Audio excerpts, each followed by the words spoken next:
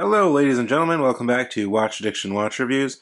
Today in front of you is the AVI-8 Spitfire 4089, a release that will be releasing for sale October 1st. From AVI-8, I will drop a link to their website down in the description below. It's obviously a pilot's watch, it's a chronograph, and it's a pretty new, cool looking style that they released. Um, there are a few different color variations that will be available for purchase. You can actually sign up for the newsletter if you happen to be watching this video before October 1st. Uh, but anyway, there also is a discount code to save 20% on any AVI-8 timepiece, and you can use the code WA20 or Watch Addict, and that will save you 20%. Um, if you want to, it helps out the channel, and yeah, that's pretty much it. Anyway, uh, let's see what's on my wrist today, and then we'll jump right into it, guys. On my wrist today is the Oceanica Barracuda.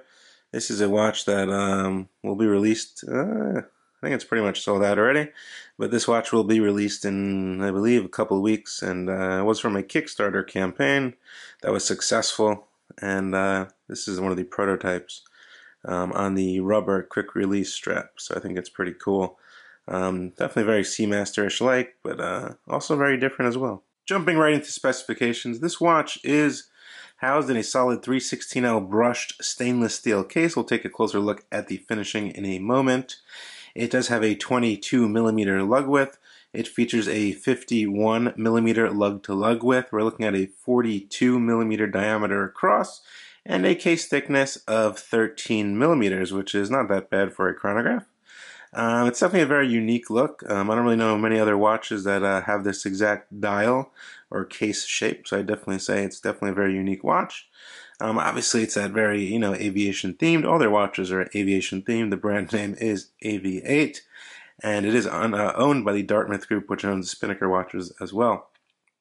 Uh, anyway, we also do get a hardened mineral lens with anti-reflective coating, so no sapphire on this one. The price will probably be below 300 US dollars, so don't expect sapphire on this model. They do have other models with sapphire crystals as well, though, if you want to check out on their website. Um, so yeah, let's get into it. This watch does have a chronograph, obviously. First, I want to take a look at the dial and see what it's all about here. As you can see, we do have a 60-minute chronograph. Um, we have a nice sweeping seconds hand here. We have a cool date cut out, as you can see there. Get you in a little closer. Meca-Quartz movement, so you know what's inside of this one. Uh, 165 feet, 50 meters of water resistance, stated right on the dial. Nice large applied numerals. Uh, the 2, 4, and the 8 and the 10, and the markers are applied. We get minute, minute markings in between here. We also do get a 24 hour subdial over at the 3 o'clock position, which is very useful to quickly glance at the hour.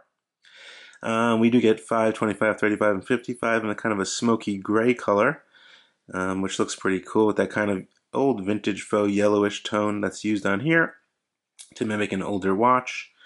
Um, but yeah, interesting crown as well. Nice small pushers on the side.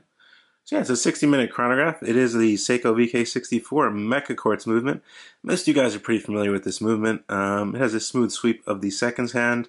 Uh, by actuating the chronograph through here, there's one, there's a couple of jewels in here, so you kind of get that mechanical feeling when you actuate the chronograph button. I'll go ahead and do that right now. As you can see, it kind of sweeps a little bit, so you get that kind of feeling of a mechanical chronograph, even though it's not. Well, it kind of is. It has a quartz, you know, module mixed with a couple of jewels for that uh, chronograph. So, you know, it runs on a battery. It's very accurate, and you shouldn't have to worry about this one for a few years. And yeah, um, stop it. There it stops. And everything lines up very nicely when I snap it back. Now this over here, the crown, get a quick set date. Set it to 1. As you can see, it's very legible even yellowish um, and black to match the background of this smoky black dial. Um, so we can pull out to our final position and we can set the time on these long style pilot hands. Very legible hands, I must say. I really do like this style of hands. They're black, uh, painted black over here, and then that kind of vintage faux on the edge. They all are. They are filled with C3 Super-LumiNova. Um, the hands, all these markers as well. I'll throw up a loom shot in a little bit. Push it back down for that 50 meters of water resistance. Let's take a look at the actual case, case shape. So as you can see, we have a pretty standard uh, pilot style case here. Interesting style pushers though. They are highly polished while the case remains brushed. You get that kind of part of the airplane over here, these little dots going up, which is pretty cool. Very smooth brush finish, brushed bezel as well. Heading to the other side of the case you can see. Very nice finishing.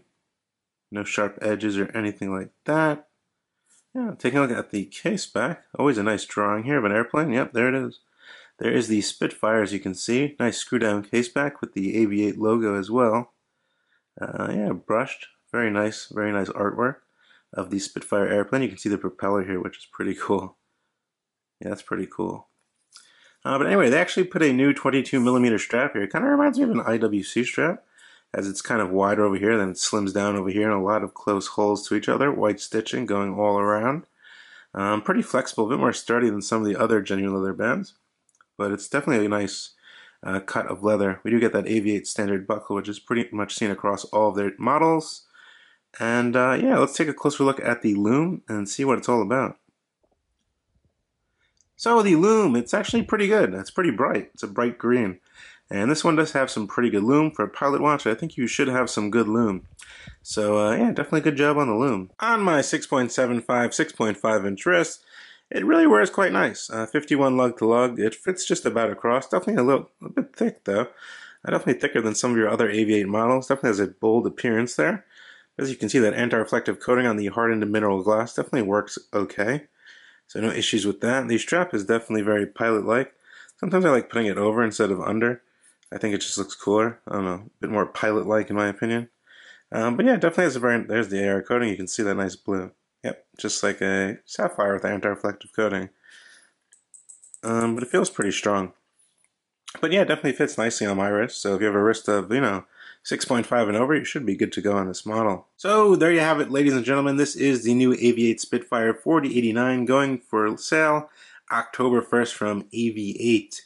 Uh, what do I think? I think it's a very nice looking dial. I like what they did with the dial.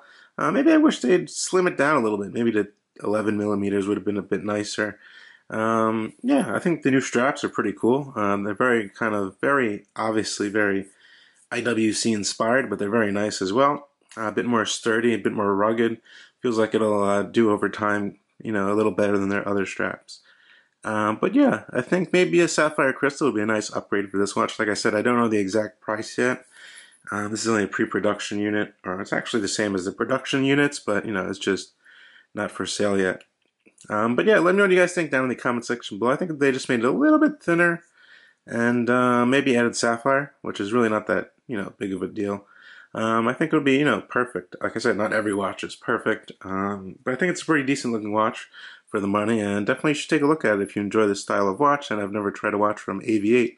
Let me know what you guys think down in the comment section below. As usual, this is Watch Addiction Watch Reviews. Definitely smash that like button, subscribe to the channel, and I'll see you guys real soon. Bye.